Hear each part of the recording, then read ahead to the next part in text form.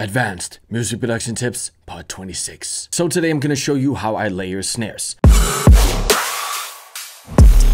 Let's break it down. First of all, my main snare group consists of five different snares. A main snare, a tail snare, a rim snare to give a mid-range transient, a wide layer, the Yang Chop resonance. These snares are very edited, very EQ'd to fit each other and to avoid phase issues. So those are sitting on a group with EQ, compression, mono maker, so everything below 700 Hertz is actually mono, clipped the snare, and Soothe the snare. That's just the main snare group. It sounds like this.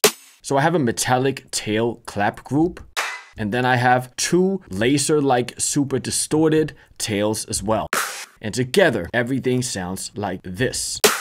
So the use of clipping, compression, EQ, panning, editing, attack, and transients enables me to layer a lot of stuff to get a super huge snare that punches through the mix.